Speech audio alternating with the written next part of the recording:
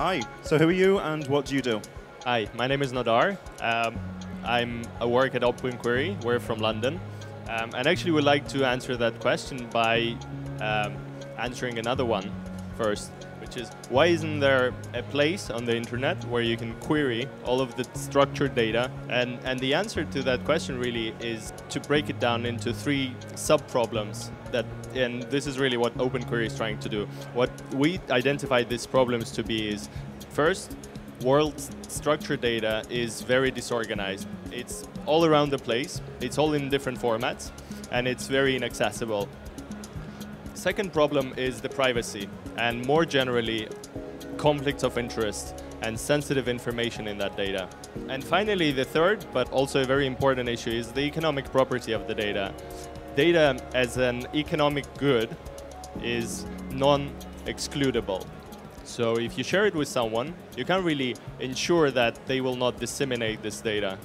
And what we are doing here at OpenQuery really is trying to um, solve these technical challenges by using technology that has been available um, for a while and building on top of it.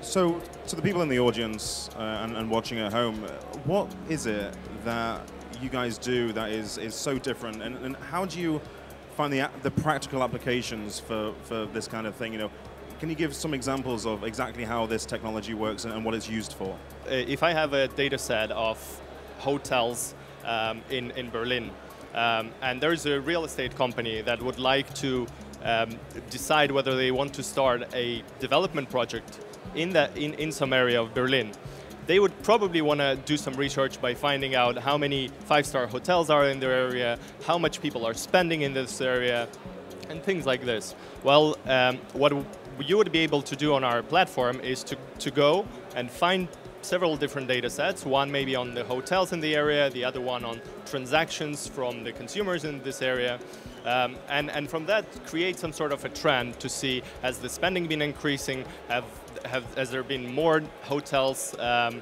that are five or four star in, in the area recently, and um, we see that um, allowing people to make data-driven decisions, not just helping AI and machine learning companies, uh, you know, to get access to data, but just uh, general uh, consumers and uh, users of data in normal companies.